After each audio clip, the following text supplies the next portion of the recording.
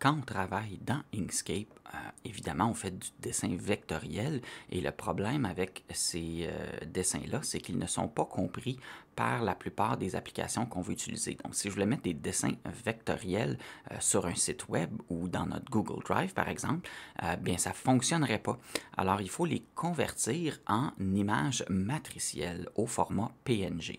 Alors, pour faire ça, on va aller dans Inkscape ici et on va aller dans Fichier exporter au format PNG. Là, j'ai une fenêtre euh, qui apparaît à droite et on demande exactement qu'est-ce qu'on veut exporter parce qu'on a plusieurs options pour ça.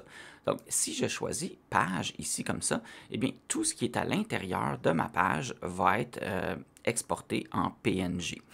Euh, donc, dans ce cas-ci, ben, j'aurais trois domaines ici et j'en ai un qui ne serait pas là.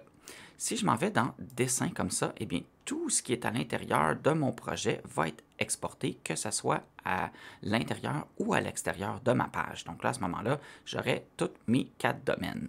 Ou sinon, je peux choisir Sélection et exporter seulement un élément euh, dans mon projet pour euh, le transformer en image. Donc, si je m'en vais ici, et que je choisis sélection, premièrement, je dois choisir où je vais exporter mon projet. Fait je vais aller exporter sous ici comme ça, et je vais lui donner un nom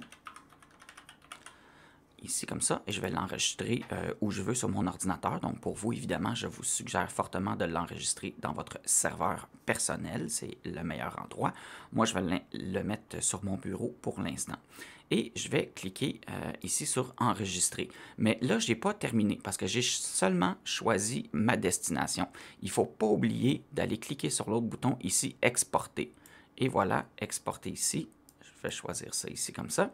Et là, quand je vais aller dans mon euh, dossier ici, vous allez voir que euh, j'ai seulement euh, mon, mon griffon qui a été exporté ici. Et si je l'ouvre, bon, il est assez petit parce que je l'ai mis quand même pas mal petit, mais ça donne l'idée que je peux exporter seulement un élément de ma page. Mais évidemment, si votre euh, projet prend toute la page, bien, vous pouvez tout simplement euh, cliquer et exporter euh, tout ce qu'il y a dans la page.